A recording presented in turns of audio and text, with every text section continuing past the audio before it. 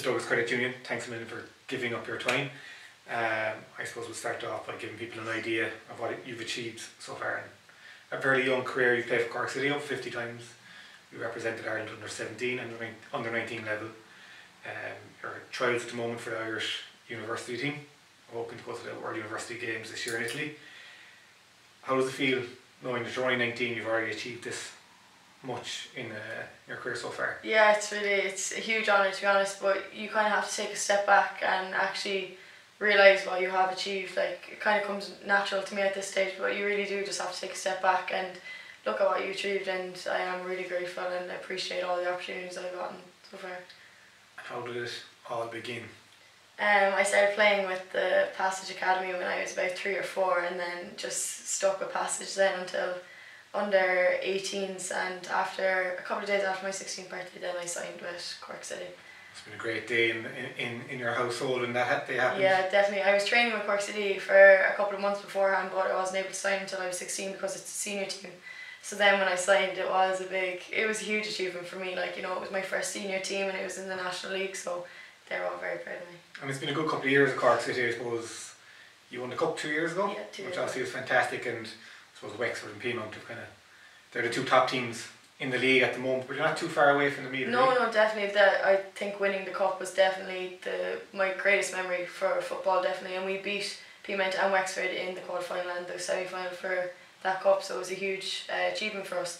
But definitely this year we're pushing on for the league and hoping to get more results against the top teams. Like we only lost to Peamount two one at the start of the season, and it was definitely could have went our way. We definitely showed up on the day, so yeah, we're just really pushing on now this year, hoping to get more results. How supportive have been Passage Soccer Club oh, been to you over the years? They've been incredible. Like as I said, I've been with them since I was about three or four, and especially Tina and Bird Murphy, like they've just coached me all the way up, and they still are so supportive of me today. You know, still coming out to my matches and all. But you know, it, it really does push you on when you have such a support behind you, and you know that you're making them proud. And when I went to Ireland, the texts I get, like you know, it's just it is it's really heartwarming to be honest. It's, I suppose you get that not just from the club, you're getting that from the oh, whole community yeah, of Passage. It's yeah.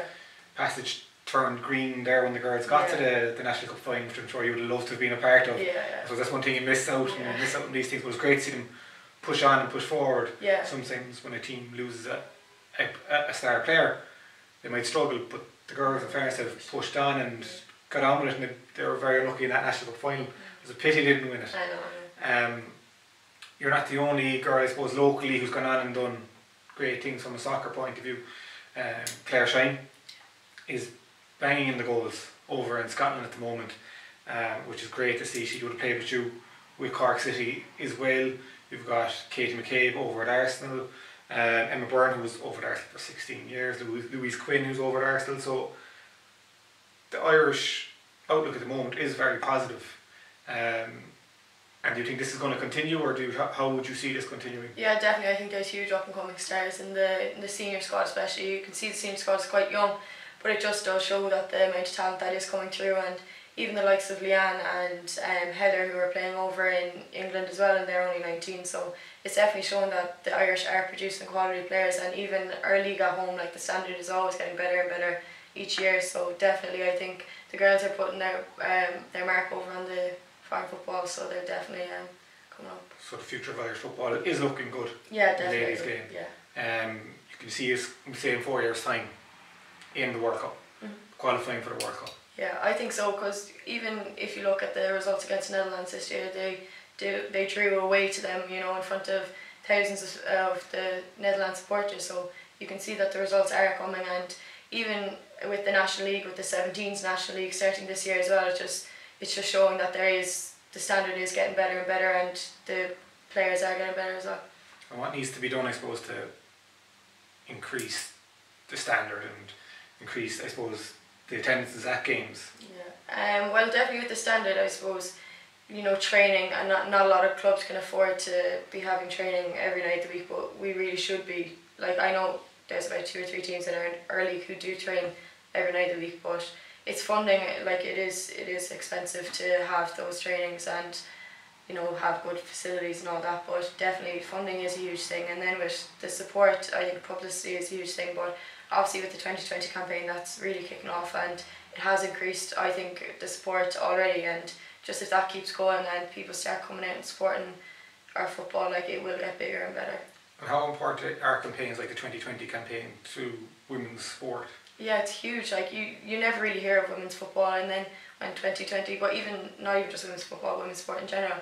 But then when you have the likes of the 2020 campaign and you have younger girls looking up to female, like Irish female sports stars, it is it's it's it's getting better. But you know, with the likes of camps and stuff like that, like soccer sisters and all that, I think it's big. It, you need a big push to get a lot of kids into that, and then they start enjoying it, and then just keep going, going there. Yeah, because when I was growing up, with very there was very little in terms of fem- Irish female sports stars or international even in female sports stars that you would have seen in the media or anything else. Like Sonia O'Sullivan was the major one. Yeah. Outside of that, there was very very few you can think of. Whereas now things have really changed. Who would you who would you have looked up to? Um, my idol growing up was Claire Shine. Um, I used to just be so starstruck by her. Like she used to go off and score loads of goals for Ireland, and then she was one of our coaches for the Cork under fourteen team, and she was just so helpful. Anything you needed help with, she was always getting on to you, seeing what you needed. And I remember one day I told her I wanted to get faster and fitter, and she took me for sprints after training. You know, she stayed behind, and then she sided with us then, and it was just like, she's playing with my idol here, like. I was so nervous, but like playing on the pitch with someone with that standard is just incredible. Like she's she's just so good, and now fast forward a few years, and she's one of my best friends, and she's still inspiring me, like banging in the goals as you said for Glasgow. It's, it's good to hear that I suppose that your idol is from women's sport. It's not like Messi and Ronaldo and these fellas. It's someone from women's sport. And Claire's only what, four four or five years older than you, Yeah. um, which is great. It is great to see. And in ten years' time, it would be great to see the young girls coming up now saying, "Oh, my idol growing up was Danielle Burke." Or Claire Shine, Yeah. or em, or not Emma Burnham, or retired but Katie McCabe. Yeah. That would be great to see that in ten years' time, and, it'd be the norm, and no, no one would be surprised by it. Yeah, yeah. Um, I'm sure you'd love someone saying, "Oh, Danielle Burke was my idol growing up." Um, what needs to change, I suppose, in the game in terms of right? It must be very hard.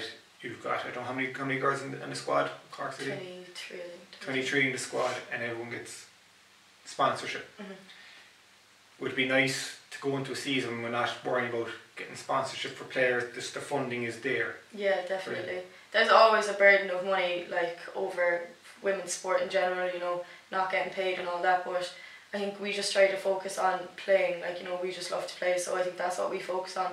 But of course we would love to just go in and get get our gear without having to pay for it, you know, have our expenses paid for and all that. You know, we do dedicate our a lot of time to it, so you'd expect that in return, but you know, we're not going to be dwelling on it, we're not going to be giving out stink about it, or whatever, we just, we just get on with it. But it is, it is disheartening, you know, like seeing the women's senior team having to fight for just to get paid, something as simple as that, like, they deserve it. Exactly, Yeah, like yeah, it's just so yeah. simple like that, but you know, we can't really do anything about it, like, you know, so we just get on, get on. Yeah. It, it is turning a corner though, but it Oh, is- yeah, definitely, no, yeah. It's probably not as fast as some people would like, Yeah, but it is it is getting there, and I think in the next couple of years I will see a big change. I suppose you're a few years behind the GAA. The GAA has been yeah, long established. The Women's National League is fairly new. So, but it, will, it probably will get there in four or five years' Yeah. time. It'll probably be, be a massive, massive difference, and hopefully just the crowds and attendance will yeah, will hopefully. get bigger and bigger. How important was it to have, as I said earlier, the, uh, the passage community and your own family support over the years? Yeah, it's huge. Like football is, it is a tough sport. Like you know, it is mentally draining and stuff like that. And you do have knockbacks and stuff like that. But then when you have the support of like my family and of course Passage, you know, it really does drive you on. Like with them being like having belief in you and all that, you know, it really does make you try harder. And when you get to like experience playing for Ireland and stuff like that, you just it's all worth it. Like. And your own mum played for Cork as well back Yeah, in the day? no, she was a little superstar apparently back in her day. She played for Passage and Cork City, and my dad was a coach then as well. So I've always been kind of brought up with sport, and my brothers are all claiming that they they made Oh, me who I they was and all that. were, but Yeah, yeah, yeah. No, But they're not playing for Cork City. no. Um, what I suppose what are your aspirations for the future? Um, I I'd obviously love to keep going with Cork City and you know get more silverware with them. I think we're well able to to get something this season, and then of course I do want to move abroad, and if that means signing with a team abroad, I definitely would look into that. Like I think it's a huge opportunity that you'd be silly to turn down really, but just as as long as I'm enjoying football, I don't mind where I am. So on to Katie McCabe over in Arsenal, Claire over in, in, in Glasgow. I'm sure they both look after you there and get you a contact over. Um, I suppose I suppose you'd love to represent Ireland Oh yeah, at senior level. Yeah. Um, like, as I can imagine, what, what did it even feel like representing at under 17, under 19 level? Oh, it's huge. Like you know, when you put on the jersey and the singing the national anthem, it's just it's indescribable to be honest. Like you know, playing in front of your your family and the girls like that you've trained so hard with and getting the results. Like it's just it's pure passion really. Like you can't really describe it, but it's a huge honour for me. Yeah, it's something that I'll keep forever. I suppose other girls, like the girls coming up in passage, probably take inspiration from you saying, well, she worked so hard and this is what she's after getting. She's wearing an Ir- Ireland jersey. Yeah. That, that could be me, uh, which is fantastic to see. And I suppose we've, we'll kind of finish in this question, right? So there's a massive fall off as soon as girls get 13, 14, they seem to stop playing sport. What advice would you, would you give to girls now who are playing sport now or who've dropped, even dropped out of sport, they're 16 or 17 and they're thinking about getting back, back into it? What advice would you give them? No, I definitely would. I think sport is probably the best thing to ever happen to me. You know, you do go through times when you're like, why am I giving up so much of my time and effort? Like you have, you do have to sac- sacrifice a lot, and especially being a teenager, you know, all your friends are going out and all that, and you're sitting at home after training, being like, why can't I be like that? But the experiences, like the memories and the friends you make through it, is just, I, it's second to none. Like I wouldn't change it for the world, but everyone does feel like that. Like even the top players, like they all have those moments. But once you stick at it, you know the rewards will come, and it definitely pays off. And the social side of it's massive. Oh yeah, huge. Like I, I've made my best friends through football, and you know, not even just on my team, but even from other teams. Like you go out and you play against your best friend one weekend and all that kind of stuff. But no, it's definitely it is a huge social side of it as well. I don't think like obviously not many people see it, but yeah, we do. We do have Yeah, that. you, you do get on and off the pitch yeah, as well, like we it's not just on the pitch, Yeah. you're giving out to each other on the pitch, you talk afterwards. definitely. I suppose that's the great thing about sport and no matter what happens on the pitch, once you walk off it, you forget about it and you just get on with it. Um, Danielle, thanks a million for your time. No. Um, best of luck with Cork City for the rest of the season. Best of luck with your trials with Irish University. And I hope we'll see you in an Irish jersey in a senior game in the near future.